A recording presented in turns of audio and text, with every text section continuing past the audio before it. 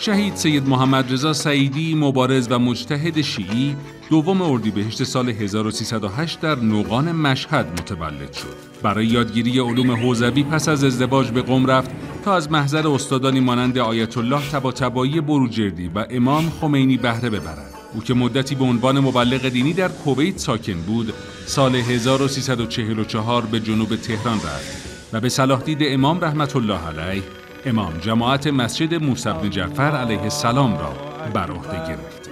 سعیدی در کنار سخنرانی های کوبنده با تغییر قیافه و پوشش به پخش اعلامیه و نوارهای امام پرداخت و به همین خاطر ممنوع المنبر شد.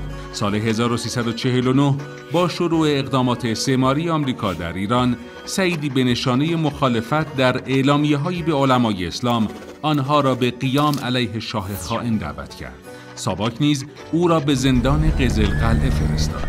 آیت الله سعیدی حتی زیر سختترین شکنجه ها رهبرش را فراموش نکرد و گفت اگر خونم را به زمین بریزید هر قطره خون من نام خمینی را فریاد خواهد زد.